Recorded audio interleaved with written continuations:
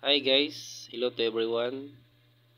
Uh, shoutout ko pala si Erwin Cavite. Siya yung nagpa-shoutout yung last video ko.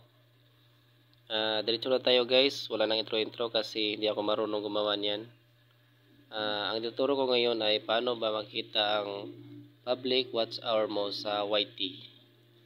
Uh, una guys, punta kayo sa Chrome Tiga muna guys ha, medyo lag. Uh, punta kayo sa Chrome at search niyo ang youtube.com. At saka guys, pindutin niyo yung profile mo. Yan. At saka punta kayo sa Creator Studio. Ito guys. Yan. Wait lang kayo guys. At mapunta kayo dito guys. Ah, wait lang kayo. Kasi medyo lag. Mahina ang wifi ng kapitbahay namin. Ito na guys.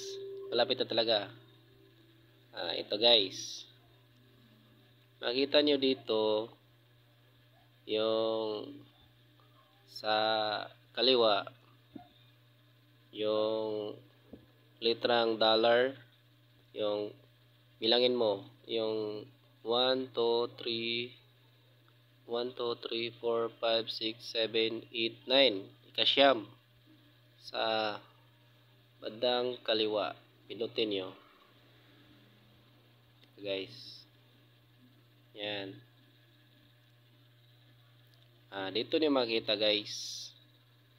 Ngayon meron na akong 604 subscriber at 168 public watch hour. Uh, ito na guys. Medyo maliit pa. Uh, sana sana nakatulong sa inyo ito guys. Masyadong madali lang guys. Uh, kaya lang ninyo yun